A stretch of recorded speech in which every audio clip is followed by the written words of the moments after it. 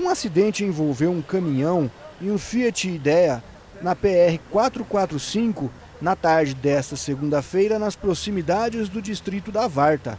Uma mulher que estava no carro ficou ferida. O motorista do caminhão contou o que aconteceu. Vinha vindo sentido Bela Vista Londrina é, e ele fez a ultrapassagem no lugar correto, né? Diga-se de passagem, ele estava certo, mas o caminhão que vinha vindo sentido Londrina Bela Vista, é, acho que sei lá, tá muito, ele saiu muito depois né, do, do, tempo certo e não deu tempo dele, dele voltar para trás. Né? Então ele bateu na ponta do meu caminhão e saiu capotando aqui. A vítima foi encaminhada para a Santa Casa de Cambé.